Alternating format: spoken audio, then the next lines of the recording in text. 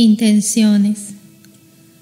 Otro punto en el que deben fijarse mucho mis sacerdotes es en la intención que deben hacer, no como simples hombres, sino como enviados del Altísimo en los actos sacramentales de su ministerio. Basta una intención que influya en el acto para que el sacramento sea válido. Pero también conviene renovar la intención pura, operativa y santa en todos esos actos en los que me representan. En este punto tengo que lamentar descuidos, indelicadezas y hasta cosas muy serias en el ejercicio del ministerio sacerdotal. Pueden quedar nulos muchos actos sin esa intención de hacerlos en mi nombre. No quiero escrúpulos, pero sí que se fijen mis sacerdotes en no hacer rutinariamente y con descuido los actos de que vengo hablando. Solo yo sé los descalabros que en este punto registra mi iglesia y que no se ven, pero que desgraciadamente existen. Mucho cuidado en este punto personal del sacerdote y de tan incalculable trascendencia.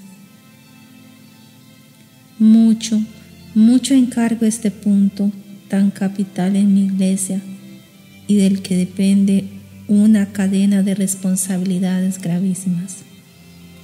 Ay, si ahondara a la vista de mis sacerdotes lo que yo veo, lo que yo lamento, lo que yo suplo, lo que no puedo suplir por estar ya determinadas las leyes de mi iglesia, que yo soy el primero en respetar, llorarían sus almas conmigo por las mil espinas con que punzan a mi corazón. Yo vine al mundo para salvarlo por el divino medio de mi iglesia, esposa muy amada del Cordero. Y por eso le dejé mi doctrina en relación con mis ejemplos y le di mi sangre y mi vida y mi madre y cuanto era y tenía un Dios hombre un hombre Dios. Dejé trazado el camino para el cielo con mis ejemplos y mi cruz. Y para consolidar esa iglesia amada, envía al Espíritu Santo para completar mi obra redentora y salvadora. Y Él es la luz y el alma de esa iglesia amada.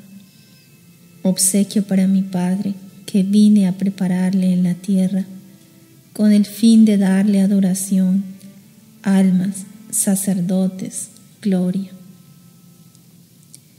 El Verbo y el Espíritu Santo obsequian al Padre con la iglesia militante, que pasa a ser purgante y triunfante, tres en una sola, para glorificarlo.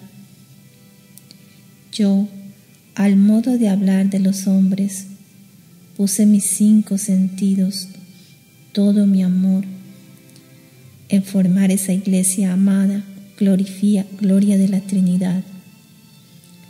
Yo formé el papado, el episcopado y todas las jerarquías de la iglesia con mis representantes en la tierra para honrar a mi Padre y salvar al mundo. Y con esto se comprenderá si amaré a mi iglesia y si me interesará la santidad de quienes la dirigen y la sirven. La iglesia es la puerta para ir al cielo. Es el único medio de salvación en donde he depositado los tesoros inmortales. Y para manejar esos tesoros, solo dignos de que los manejará, yo puse a mis obispos y sacerdotes pero con la obligación de que sean otros yo. Y sólo así podía ser manejada esta hechura mía, esta esposa que nunca se cansa de perdonar, porque me tiene a mí que soy el perdón de Dios, el Salvador de los hombres. En mi iglesia tengo mi asiento en la tierra. En la iglesia tiene sus delicias un Dios humanado. En la iglesia se veneran los misterios de su vida, pasión y muerte. Ella tiene mis evangelios que son mi palabra latente y con vida. En los sagrarios estoy yo. En los sacramentos estoy yo que doy, que me derramo e infiltro en los corazones puros.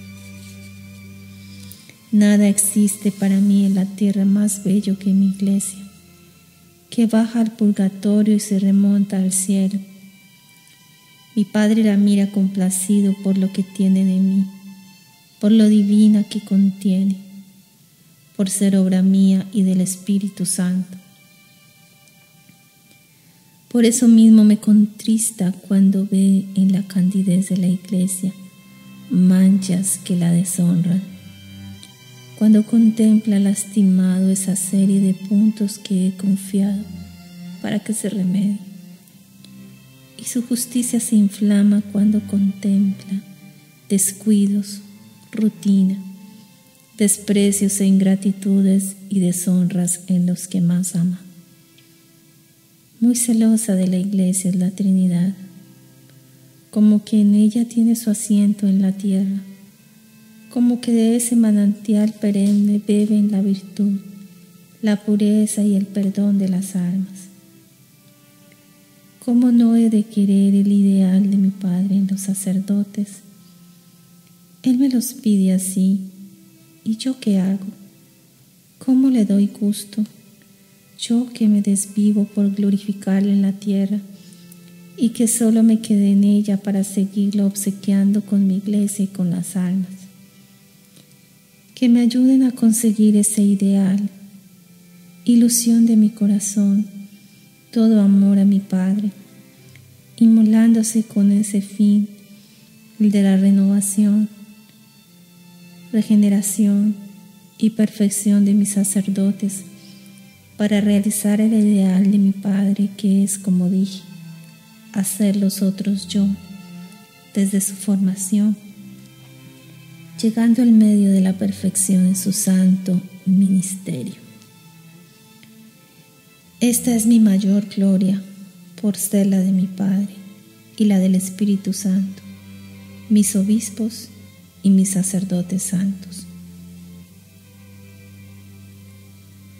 Yo el Verbo y el Espíritu Santo estamos empeñados en esta última etapa del mundo, en levantar a la iglesia con sacerdotes santos y por este medio divino del Verbo y del Espíritu Santo con María, se hará esta reacción universal.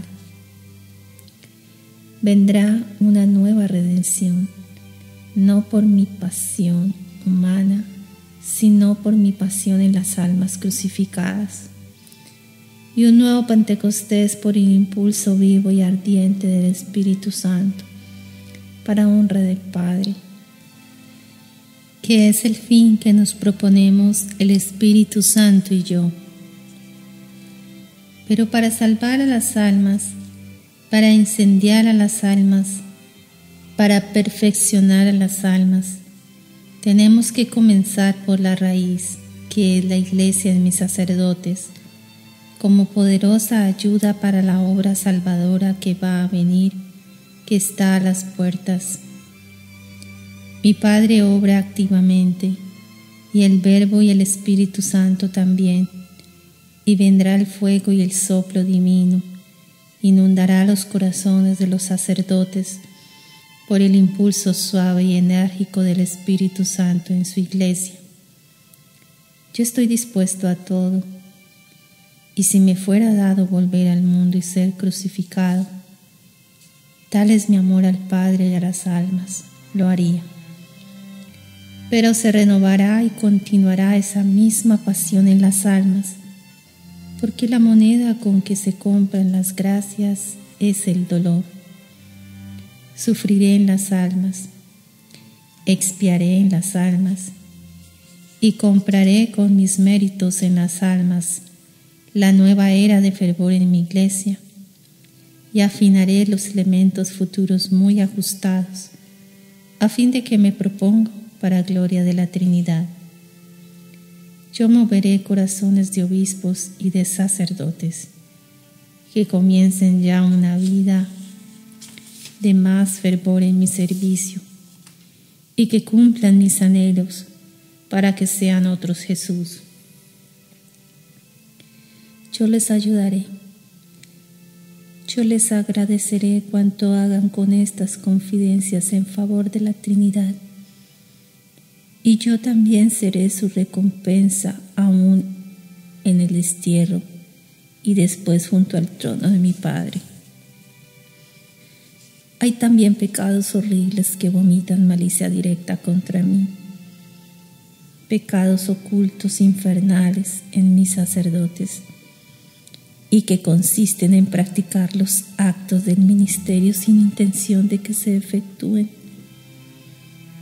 Y con esto quedan nulos para las almas y de consecuencia incalculables para el hombre. Celebran sin intención y este es un pecado mortal confiesan sin intención de absolver los pecados. Bautizan sin intención de bautizar.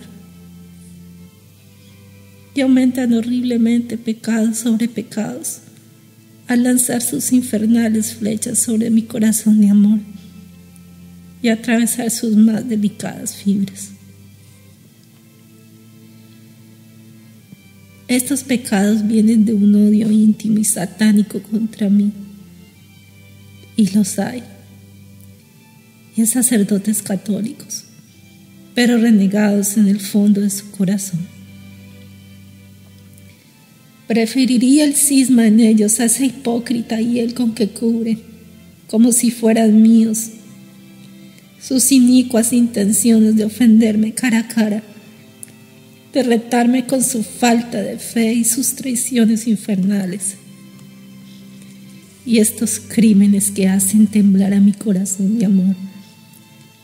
Solo yo los veo, solo yo los lloro y lamento en el silencio de mi lacerada alma y cubro con lágrimas ante mi Padre estos horrores de los que son míos.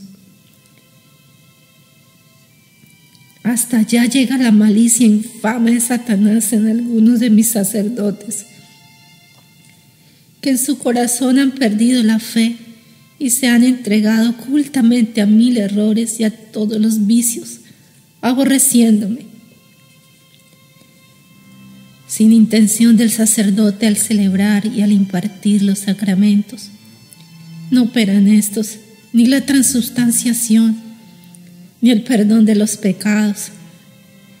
Si será un horrendo crimen este de engañar traidoramente a las almas con lo divino y de tomar lo santo con tanta cínica burla, sabiendo que yo lo veo y que apuñalean mi corazón.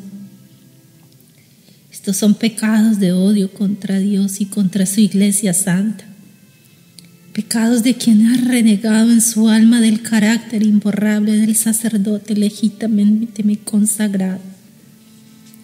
Y estos crímenes, pocos ciertamente, pero que existen, se comprende a qué grado laceran mi pecho amoroso. Otro pecado oculto entre muchos que acaecen es en sacerdotes que están en pecado y que tienen a su cargo templos o parroquias y deberes que llenar. Suelen decir misa sin intención de que se efectúe el sacrificio y creen con esto hacer menos mal. Celebran sin celebrar. Aumentan pecados sobre pecados. Lo que tienen que hacer es un acto de contrición perfecta celebrar debidamente y confesarse lo más pronto que puedan. Abusar del ministerio, jugar con lo santo es un crimen que merece infierno. Oh, y qué limpio debe ser el corazón del sacerdote, qué lleno de Dios y qué alejado de Satanás y de sus diabólicas redes debe vivir. Con qué ardor, confianza, sinceridad y pureza debe acudir a mí en el sagrario, a mí en la misa, a mí en la oración y a María siempre a esas monstruosidades que les he dicho de hacer los actos sagrados del ministerio sin intención, los conduce la tibieza. Hasta allá va a dar este vicio consentido, vivido y acariciado. Esos sacerdotes llevan el adulterio con la iglesia en el corazón y de ahí les nace el odio por lo puro, por lo santo, por la Trinidad se enfrentan contra ella, porque ella está presente en todos los actos de la iglesia y la retan y desprecian. Estos pecados enormes en su magnanimidad y en su castigo se los doy hoy para ser lavados con sangre, para ser expiados con amor y para curar esas heridas de tan negras ingratitudes con el bálsamo de la caridad esos horrendos crímenes y más y más. Quiero perdonarlos. Me duelen, me trituran, pero mi alma se conmueve